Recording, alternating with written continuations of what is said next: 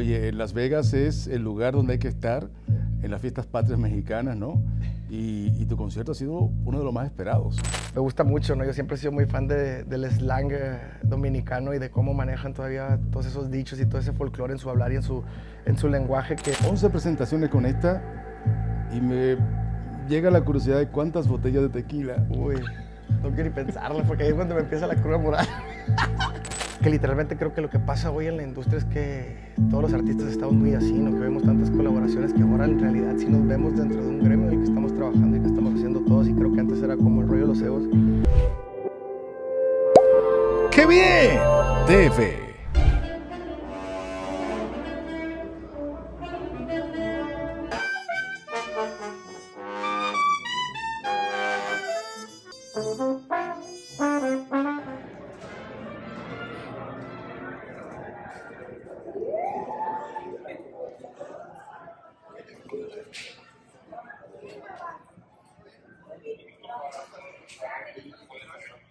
Cambia.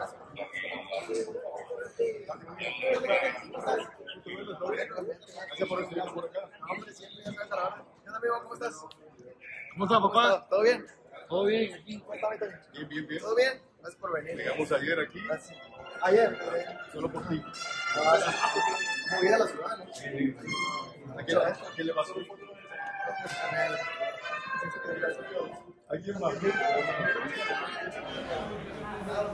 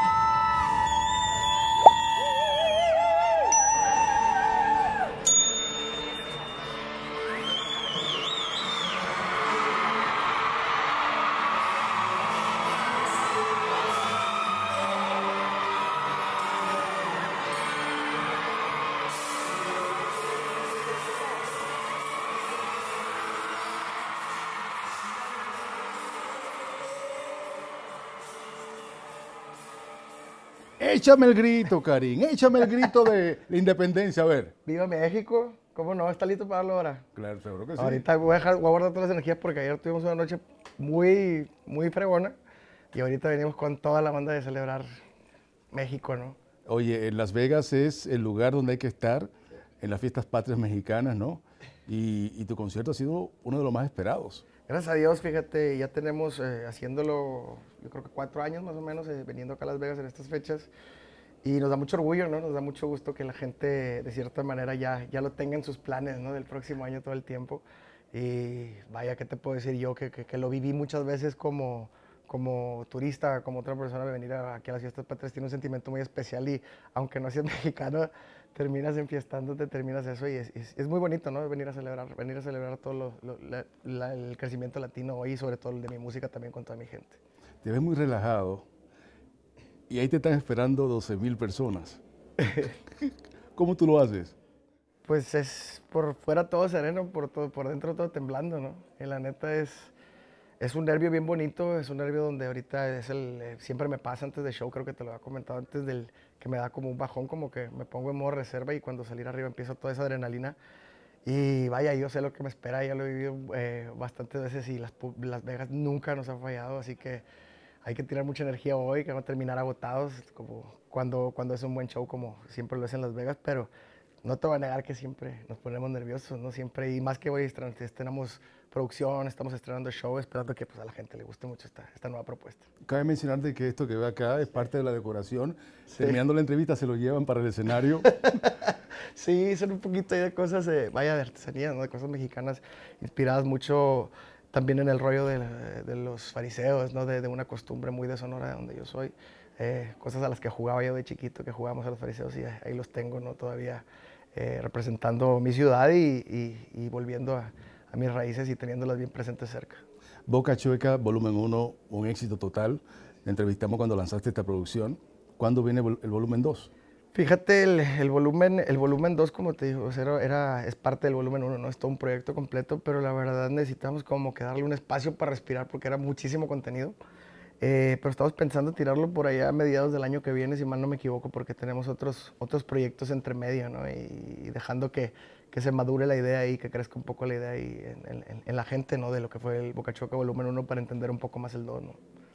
Um, abriéndole show a Rolling Stone, eh, rompiste récord en un estadio en Los Ángeles, en el BMO. En el BMO, sí.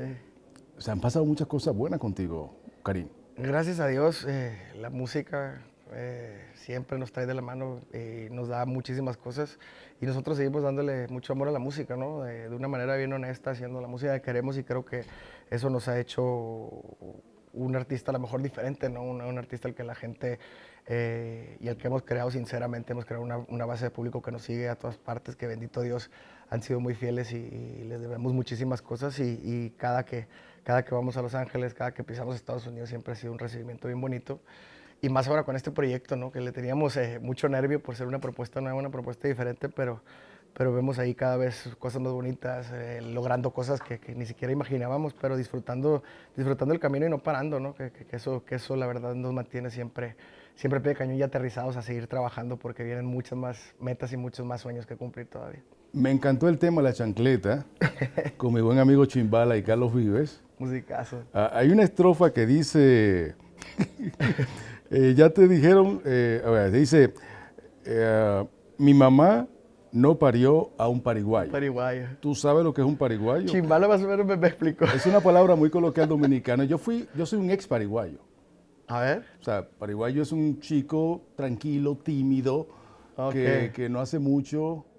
um, no sé cómo se le llamaría en México a un pariguayo. Ah, yo también, entonces yo creo que yo también fue un paraguayo, como alguien así como del catorzón le decimos nosotros, ¿no? Como que, como que allá la, hay que anda ya medias tintas, pero... Sí, el pariguayo va a una fiesta y se queda en una esquina parado y no baila, tú sabes. Sí, Está el- nada más que pendiente. El tímido, el tímido. Sí, fíjate, Chimbala esta rola me gusta mucho, ¿no? Yo siempre he sido muy fan de- del slang eh, dominicano y de cómo manejan todavía todos esos dichos y todo ese folclore en su hablar y en su, en su lenguaje que, que quisimos mezclar los tres lenguajes, ¿no? El, el lenguaje colombiano muy regional, que yo creo que también la música que hace Chimbala en, en- en su país es algo muy, muy regional, que consigue con- conservando muy arraigado el pueblo, en lo que se canta, en lo que se dice, en los temas, trayendo todos esos sonidos afro de vuelta a la música moderna. Eh, y nosotros metiendo la parte del regional, ¿no? toda esa parte ranchera que tiene que ver con el, en las cuestiones de letras, en las líneas melódicas y acompañándolo con acordeón, que siento que es una canción ligera, ¿no? Es una canción que no tiene más pretensiones más que moverte y hacerte bailar, pero hay un trasfondo, bien. un trasfondo cultural muy grande de muchos sonidos latinoamericanos que, que hoy nos dan una identidad, ¿no? Como latinos.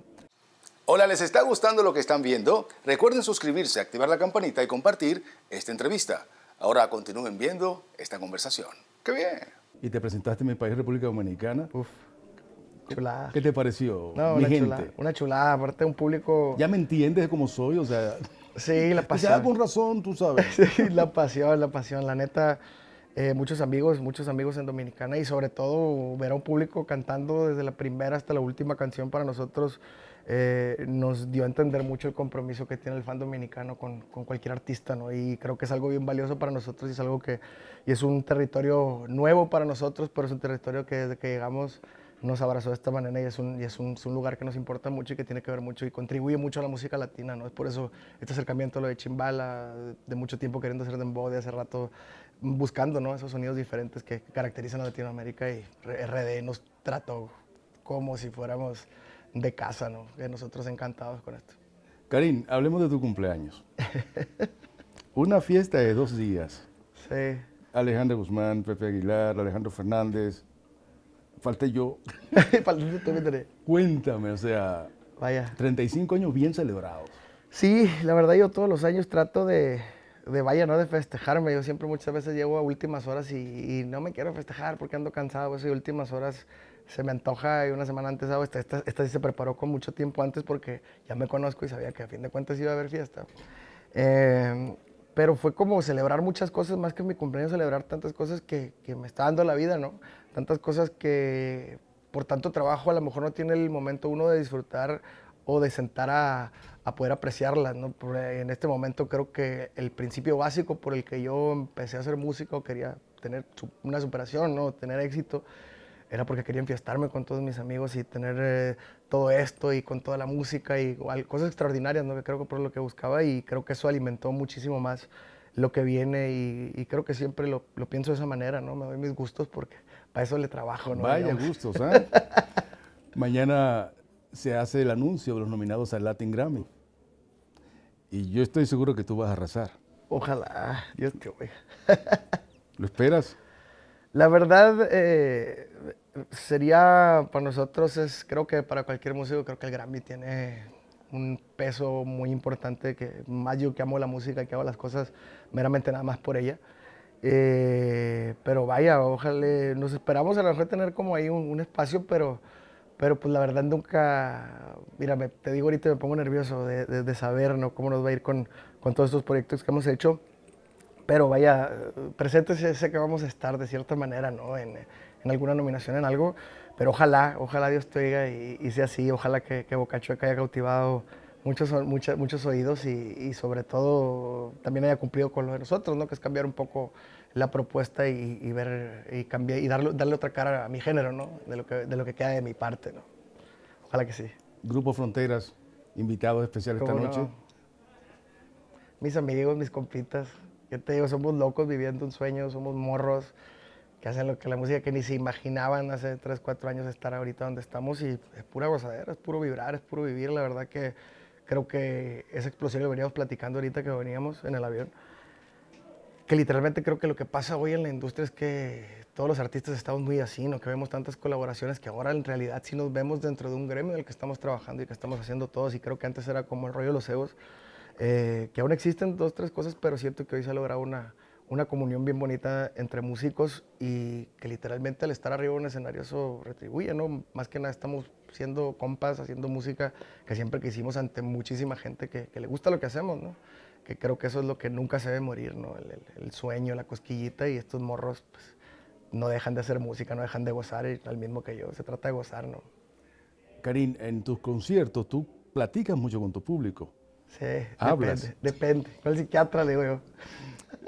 Um, ¿Te has arrepentido en algún momento de algo que has dicho en el, en el escenario y dices, wow, se me fue la mano? Ah, no, sí, digo muchas babosadas, digo muchas tonteras. eh, soy una persona muy. Vaya, tendría que conocer a mi abuelo para que vean de dónde viene todo. Del, somos unas personas que soy. Suelto las cosas sin filtro, ¿no? Y suelto las cosas tal como son. Nunca con el afán de hacer daño a nadie, simple y sencillamente. Pero arrepentirme no creo, la verdad creo que cualquier cosa, por bien o por mal, te deja una enseñanza, te deja un aprendizaje y te va dejando, vaya, ¿no? Marquitas que, que- son las que embellecen al mueble, ¿no? Le decimos después. Y por lo menos yo creo que no. Muy cabrón que me arrepienta de algo porque creo que gracias a todo eso es que estamos aquí, la verdad. Eh, mm, para mal o para bien depende, depende de los contextos de la gente, de cómo lo vea la gente, ¿no? De qué ángulo lo mire. Pero para nosotros es- siempre quiero ser yo arriba, ¿no? Siempre quiero, no me gusta mentirle a la gente, de cierta manera me gusta como expresar esas cosas y expresar el corazón muchas veces afuera. Y mucha gente no puede estar de acuerdo con tu opinión o con lo que tú digas y, y es válido, ¿no? Para los, para los colores, para los gustos de los colores, ¿no? Pero vaya, sinceridad creo que es, creo que es lo que creo que es lo que le hace falta al mundo en muchas cosas y, trato yo de darle sinceridad y ser bien honesto con mi música y con lo que yo digo y, y vaya, soy un hijo de la chica. Así soy, soy mexicano, ¿sabes? Pero, y eso sí, nunca se me va a quitar los, los rockstar. 11 presentaciones con esta y me llega la curiosidad de cuántas botellas de tequila. Uy, no quiero ni pensarlo porque ahí es cuando me empieza la cruda moral. es que ya ni las cuento. ¿A la, a la- a la cuánta canción ya comienzas a darte primer... eh, Fíjate que ya le, le he bajado bastantito como, a como le estaba dando, porque antes era como de, vaya, eh, eh, y el rollo es que nunca dejan de llegar cosas, ¿no? Nunca dejan de llegar experiencias nuevas, nunca deja de llegar eh, éxito, ¿no? Gracias a Dios. Y nunca deja de celebrar uno, ¿no? Que, que, que pero ya literalmente ahora con esta gira empezaría, empecé a sentir como el cansancio, gracias a Dios, de tanto trabajo, entonces fue como que hacer ajustes, tuiquear cosas y, y, y vaya, ¿no? Para aguantar, para darle, para darle un camino, pero pues la neta sí, sí le pegamos viendo, es imposible, por ejemplo, ayer estar en Los Ángeles teniendo a veintitantas mil personas y de repente romper récords eh, con tu música, es imposible que no. Y aparte, muchas veces para bajar los nervios, ¿no? Que sí, que sí pegan arriba. Es un compromiso, pero sí unas. Yo creo que unas 100, ¿no? Fácil. 100 por, no, 100 por, por gira, fácil. Una, una, una y media por show. No tanto últimamente, pero antes sí. Pero ¿Vas a ya- lanzar tu marca de tequila? Sí, ahí, ahí se viene una sorpresita pronto. ¿Ah, sí? Sí, aparte está. Ahorita, ahorita estamos en el control de calidad. Tequila, tequila Karim, que no será muy Karim, será a buen módico. Ojalá. ¿O será Karim? Eh, eh, Depende. Vamos a. Pues. Sabe Karim. ¿Sí? Ok, ya sabe. Eh, vienen colaboraciones con Alejandro Fernández, eh, perdón, Claro. Alejandro Sanz. Colaboración. Lo voy a dejar entonces. Sí. Sí, con las dos. Alejandro Sanz, Alejandro Fernández, ah, también en, en el mercado anglo, tejano, eh, Sí. perdón, eh, country. Sí, sí, sí. Viene algo por ahí también, ¿no? Sí, vienen cosas muy, muy interesantes que podemos decir, ¿no? Con- viene con Jelly Roll, eh, estamos haciendo algo también con Teddy Swims, eh, con mucha gente. Ahorita estamos metidos mucho en el Royal Country, que, que siempre me ha apasionado mucho y estamos ahí tratando de implantar la, la bandera latina, la bandera mexicana en, en un género que, que también a los latinos nos, nos encanta y que creo que el 40% del público del country pues, son mexicanos acá en Estados Unidos, entonces es algo que, que tiene mucha lógica, ¿no? que lo hemos visto hace mucho tiempo y, me gustaría ser, ser la, de las primeras piedras ahí. ¿no? Oye, tremendo reloj ese, me llamó la... Oye, Ah, yo sí. estaba mirando porque El me llamó relojito, la... el sí. relojito. Ah, este día este le dimos mucha carrilla. No soy tanto de relojes, pero este me gustó ¿no? mucho y le queda todo. o sea, como que el que no me quito. Pega con todo, ¿ah? Sí, sí, sí, sí, sí. Pero sí. Bueno, mi querido eh, Karim, suerte en lo que gracias. viene en camino por ahí. Gracias por ser como eres, por eh, siempre recibirnos. No, siempre, maestro. Y ha sido un gran honor estar aquí en, en Las Vegas en esta noche tan especial. Muy especial, muy especial porque, porque estás aquí, estás tu equipo como siempre. Gracias por, por siempre pertenecer, por siempre estar con nosotros y enhorabuena por, por la vida que tenemos ahora y que estamos disfrutando de esto. Gracias, mi Tony. Y ya tú sabes, cuando cumpla los 36, yo siempre, estoy, Ey, yo tú siempre estás invitado. estoy libre en julio, Tú vacaciones, sie- tú vacaciones en julio. apartando la fecha, a ver si, a ver si le, le ponemos otro día. Ahora lo vamos a hacer festival. ahora. Mira que yo cumplo en junio también, o sea, Junio. estamos cerquita, ¿no? No, pues ahí de una vez agarramos viada. De junio, de junio a julio, ¿no? Así como el Guadalupe Reyes. Hacemos El carnaval. Tony Karim. El Tony Karim, así se va a llamar el maratón. ¡Qué bien!